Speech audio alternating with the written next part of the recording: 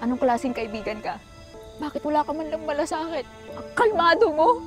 Ano, wala lang sa'yo lahat to?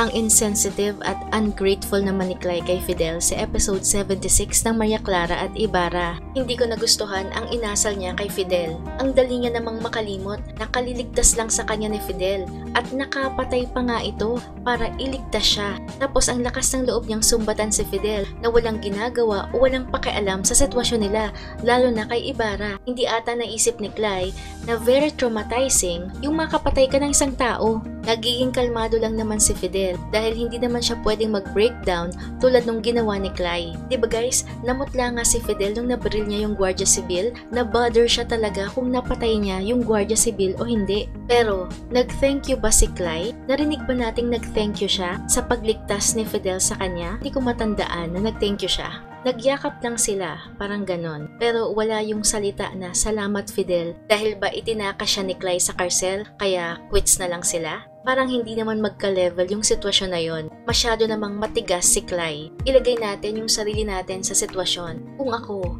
may nakapatay para mailigtas lang ako. Magpapakumbaba ako sa taong yon forever. Pwede naman kasing kausapin ng mabuti. Pero yung ginawa ni Clay, that's too much. Nabastos niya dun si Fidel, lalo na yung pagkalalaki niya. Just imagine guys, nakapagtapos si Fidel ng abuga siya. Pero ngayon, siya ay isa ng pugante at mamamatay tao. Pero ito yung nakakaloka. Mukhang wala siyang pagsisisi dahil ginawa niya yun lahat kay Clay. Dahil mahal niya si Clay. Actually, hindi ko gets yung pagmamahal na yan.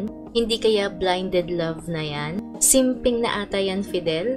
Ano ba yung simping or simp?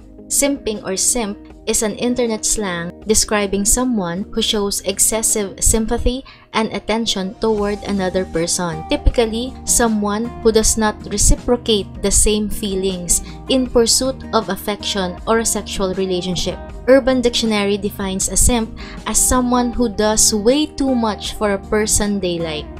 Then, towards the end of episode 76, she made Fidel promised not to die. Ang dami niya namang hinihingi, eh wala naman siyang binibigay kay Fidel. Pagkatapos niyang pagalitan, hihiling pa siya ng isang bagay na wala namang control si Fidel. 'Di ba Ang unfair? Kaya kung magkakatuluyan man si Fidel at Clay dito sa Maria Clara at Ibarra, kailangang ma-reciprocate ni Clay yung pagmamahal ni Fidel para maging balance yung relationship nila. Kasi ngayon, napaka-uneven, napaka-unbalance. Hindi ganun ang isang healthy relationship.